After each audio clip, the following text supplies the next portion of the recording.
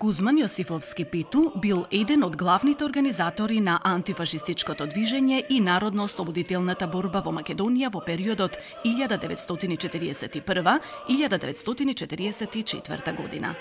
Потекнува од градот Прилеп, каде бил роден на 15 јуни 1915 година. Во времето на неговата младост, Македонија се уште била под разни окупации и тугински режими. Тоа било време кога ни за Европа се јавуваат нови генерации револуционери, задоени со идејата за социјална правда и национална слобода, но и цврсто определени за антифашистичка борба во моментот кога фашизмот и нацизмот ја загрозувале слободата и демократијата во Европа. Во вакво време, Кузман Јосифовски Питу студира на правниот факултет во Белград, каде е еден од предводниците на напредната студентска младина. Станува член на Комунистичката партија на Југославија во 1938 година, а воедно бил и еден од организаторите на студентско друштво Вардар и на македонското национално движење Манапо.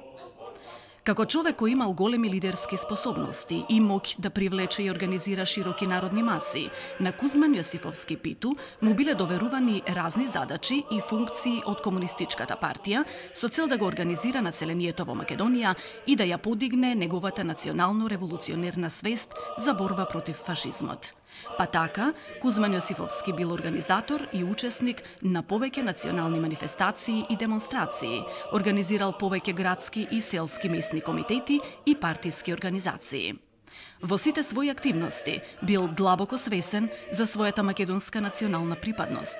Тој го потенцирал фактот дека македонскиот народ се наоѓа во најсудбоносните дни на својата мачна историја и дека борбата против фашизмот е борба преку која македонскиот народ ќе се стекне со право на самоопределување и можност за создавање на собствена држава.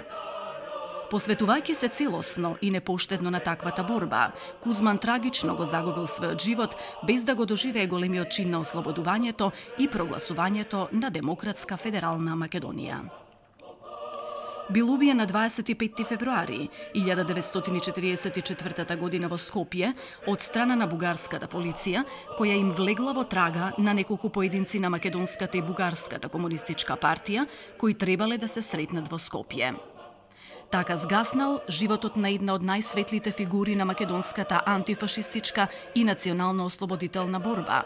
Во 1945 година Кузман Јосифовски Питу е прогласен за народен херој, а неговото име е запишано во плејадата македонски синови кои живееле и умирале за слободата на татковината Македонија.